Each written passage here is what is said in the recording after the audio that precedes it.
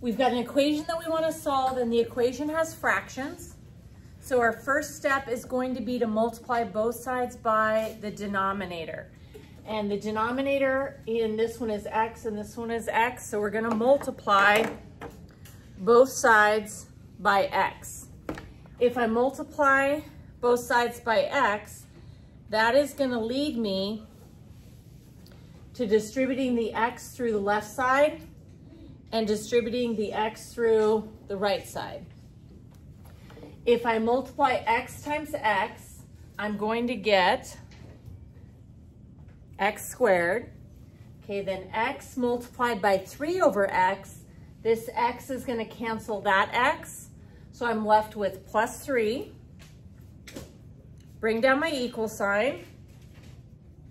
Okay, now let's multiply x times 7, and that gives me 7x. And then x multiplied by negative 9 over x, the x's cancel, and I'm left with negative 9. All of my fractions are gone, and I'm left with something that's quadratic, x to the second power.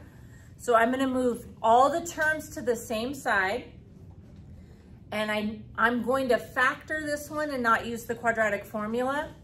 So if I know I'm gonna factor, I would really like the leading coefficient on x squared to be positive, which tells me I'm going to move these two terms to the left side, because if I moved x squared to the right side, I would have negative x squared.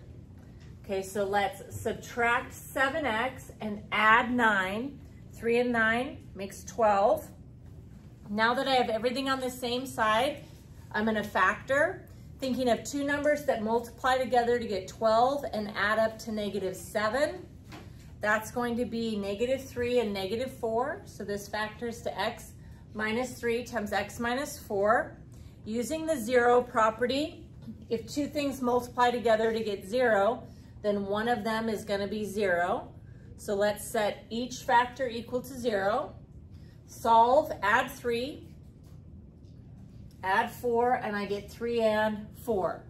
These do happen to be my final answers, but just a quick reminder, if your original equation has a variable in the denominator, checking your answers are not, it's not optional. You have to do it because you're worried about the numbers leading you when you substitute it back in the original to divide by zero.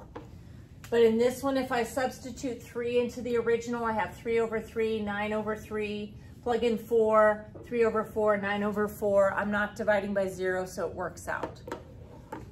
If we would have gotten zero as an answer, three divided by zero would be an error and we'd have to throw it out.